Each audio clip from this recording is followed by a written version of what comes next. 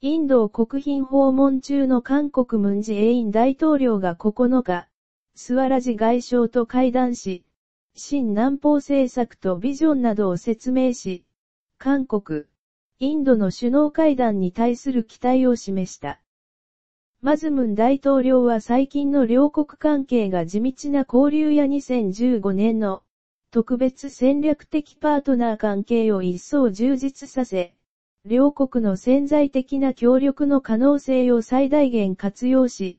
将来有望な分野で両国関係の地平を広げていきたいと強調した。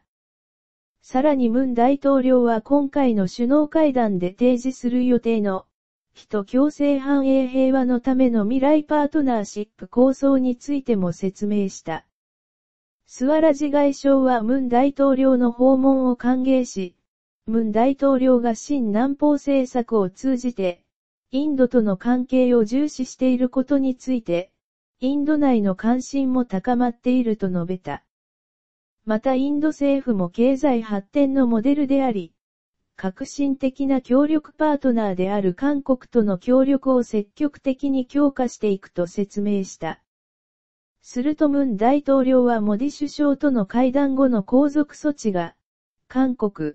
インド外相共同委員会などを通じて、忠実に履行されるよう関心を持ってもらいたいと要請した。スワラジ外相は韓国、